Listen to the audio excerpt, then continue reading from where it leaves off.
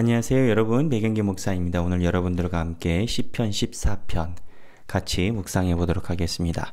시편 14편은 어리석은 자의 어리석은 미래 그러니까 타락한 세상을 향한 묘사라는 제목이 붙어 있습니다. 아, 그래서 타락한 세상의 어리석은 자들의 행태에 대해서 다윗이 묘사해 놓은 내용입니다. 그런데 이 다윗의 시에서 우리가 뭘 알 수가 있냐면 어리석은 자의 특징이 하나 나옵니다. 그 특징은 시편에서 다윗이 반복적으로 계속 고백하고 이야기하는 내용 중에 하나인데 그 특징이 뭐냐? 하나님을 아는 지식이 없다라는 겁니다.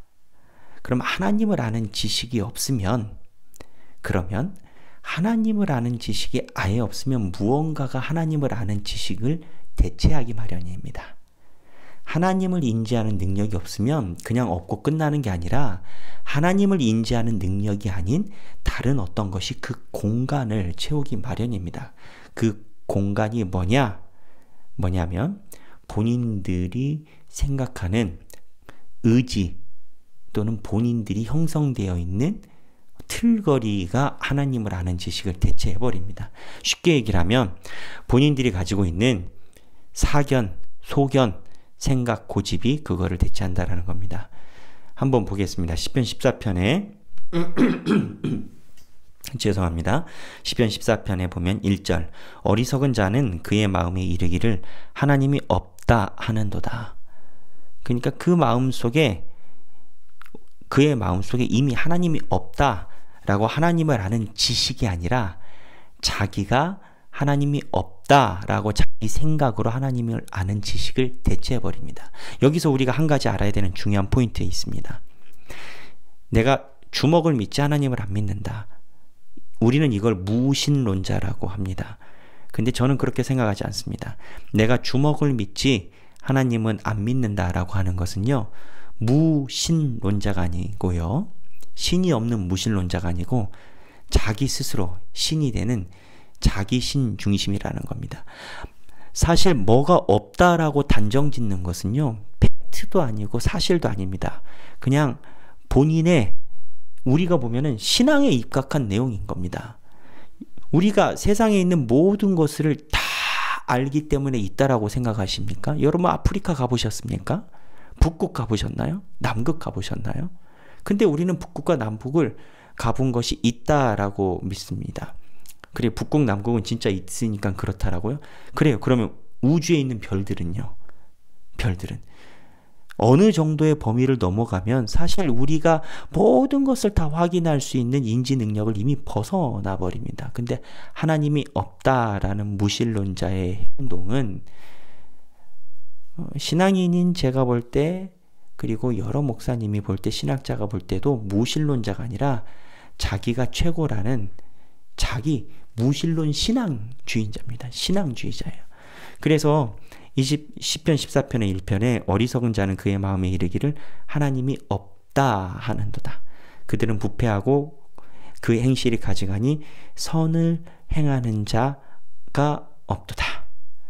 하나님이 있는 사람은 하나님 있는 사람은 하나님의 기준치가 있는데 선을 행하는 자가 없다라는 것은요. 그 사람들이 착한 일을 안 한다는 게 아닙니다. 음, 하나님이 없다는 사람들도 착한 일을 하죠. 근데 모든 선과 악의 기준은 우리가 생각하는 윤리적으로 착하다 이 내용이 아니라 선은 하나님의 뜻대로 행하는 것이 선이고 하나님의 뜻이 아닌 대로 행하는 것은 죄악입니다. 그러니까 하나님의 뜻대로 행하려고 하는 사람은 없다라는 겁니다. 세상에 유명한 도인이나 유명한 성자들이 하나님 앞에서 선을 행한 자라고 여겨질까요? 인간의 눈에는 선인일 수 있습니다만 하나님 눈에는 선인은 아닙니다. 그래서 10편 14편 1절을 다시 한번 읽어보면 어리석은 자는 그의 마음에 이르기를 하나님이 없다 하도다. 그들은 부패하고 그 행실이 가증하니 선을 행하는 자가 없도다. 2절에 그 하나님을 아는 지식이 나옵니다. 여호와께서 하늘에서 인생을 굽어 살피사 지각이 있어 하나님을 아는 지각이 있어 하나님을 찾는 자가 있는가 보려 하신즉 3절 다 치우쳐 함께 더러운 자가 되고 손을 행하는 자가 없으니 하나도 없도다. 세상이 이렇게 망해져 간다라는 겁니다. 4절 죄악을 행하는 자는 다 무지하냐. 그들이 떡 먹듯이 내 백성을 먹으면서 여호와를 부르지 아니하는도다. 죄악을 행하는 자들이 하나님의 백성을 핍박하고 날마다 핍박을 하면서 하나님을 보는 걸 두려워하지 않는다라는 겁니다. 그런데 5절에 하나님께서 움직이십니다. 5절에 그러나 거기서 그들은 두려워하고 두려워하였으니 거기가 어디냐? 그들이 악을 행하는 곳에서 하나님께서 두렵게 하신다라는 겁니다. 그 이유가 5절 하반부에 하나님이 의인의 세에 계심이로다. 너희들이 지각이 없으면 하나님이 계시지 않고 하나님이 의인들과 함께 계신다라는 겁니다. 6절에 너희가 가난한 자의 계획을 부끄럽게 하나 오직 여호와는 그의 피 난처가 되시도다. 하나님을 의지하는 자들이 세상에서는 가난할 수 있습니다. 악인들이 판을 치기 때문에. 그런데 그들이 가난하다고 무시하지만 하나님은 가난한 사람들의 피난처가 되신다라는 겁니다. 7절에 이스라엘의 구원이 시온에서 나오기를 원하도다. 여호와께서 그의 백성을 포로된 곳에서 돌이키실 때에 야곱이 즐거워하고 이스라엘이 기뻐하리다. 7절에 하나님이 없다 하는 자들이 하나님으로부터 나오는 구원, 시온에서 나올 때, 돌이키실 때 모든 것이 회복될 것이다 라고 회복의 메시지를 보냅니다. 여러분, 이 시편에서 우리가 알 수 있는 것은 세상의 악인들이 하나님 없는 지식, 하나님이 없다 하는 잘못된 지식을 가지고 있다라는 겁니다.